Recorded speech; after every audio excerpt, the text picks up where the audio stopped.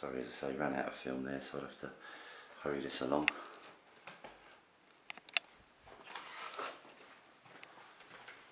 Fourth bedroom over here. All very good sized bedrooms, and, and I notice as I'm walking around here, you've got very high ceilings. So just you know, the property's a big build size anyway, but it just seems a lot more spacious. And the main family bathroom, fully equipped, even a bidet in this one. All in all, absolutely super duper property. I hope you like it. Let us know and we'll add it onto your viewing list.